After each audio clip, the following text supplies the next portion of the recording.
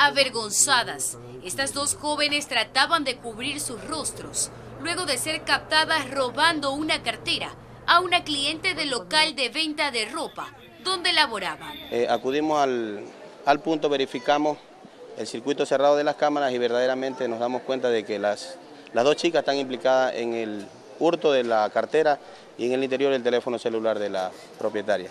La cámara de seguridad del local ubicado en la bahía de Guayaquil muestra claramente cómo esta mujer de nacionalidad venezolana aprovecha el descuido de la cliente para tomar la cartera y esconderla en complicidad con una de sus compañeras. Le pedimos a la señora del dueño del almacén que, que nos, por favor nos permitiera ver el video de la cámara.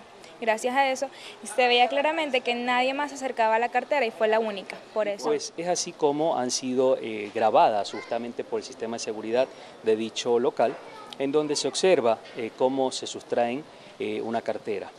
Según el artículo 209 del COIP, por esta contravención, estas mujeres podrían ser castigadas con 15 a 20 días de privación de libertad.